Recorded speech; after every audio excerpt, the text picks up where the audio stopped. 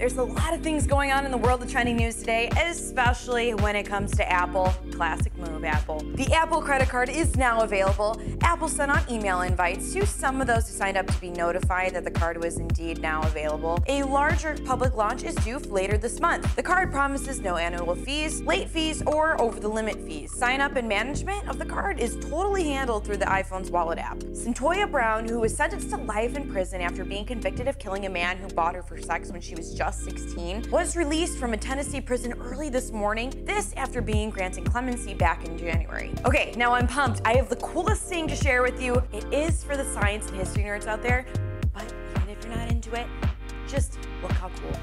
Scientists baked sourdough bread with the yeast retrieved from 4,500 year old Egyptian pottery. Physicist Seamus Blackley shared his experience on Twitter, saying, Using a non-destructive process and careful sterile technique, we believe we can actually capture dormant yeast and bacteria from inside the ceramic pores of ancient pots. We sampled beer and bread making objects, which actually have been in regular use in the Old Kingdom. This crazy ancient dough fermented and rose beautifully.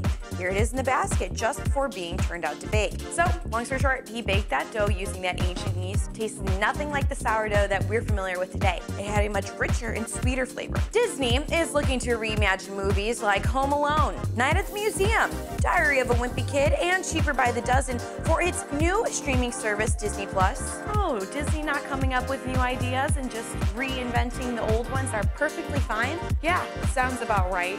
Finally, actress Dakota Johnson seems to have closed that gap in her teeth, and fans are reportedly heartbroken over it. Thanks for stopping in to check in on your 5 to know. I'm Nat Cardona. See you tomorrow.